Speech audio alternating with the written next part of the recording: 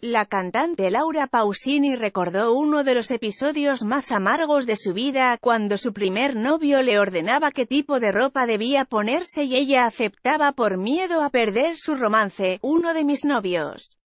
El primero importante que he tenido, siempre me decía que no estaba bien con faldas, entonces nunca me ponía faldas y cuando eres más pequeña haces todo lo que el otro quiere que hagas y no es justo.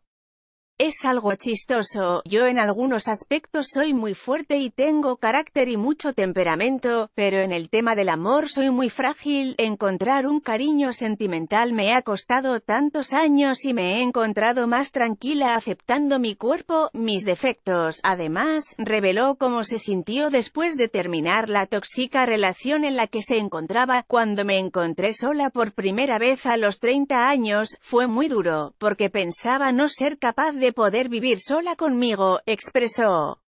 La cantante, mi primera canción se llama La soledad y tiene un porqué. Yo temo a la soledad. Aprender cómo ver el aspecto positivo de ella me ha tomado mucho tiempo, porque es difícil, y más si eres una persona que quiere ser como un cachorro, que alguien abrace y proteja, recalcó Pausini. Ahora la intérprete tiene una relación de 13 años con Paolo Carta quien asegura es su amor verdadero, con información diario basta en esta nota, novio de la Laura Pausini Relación Laura Pausini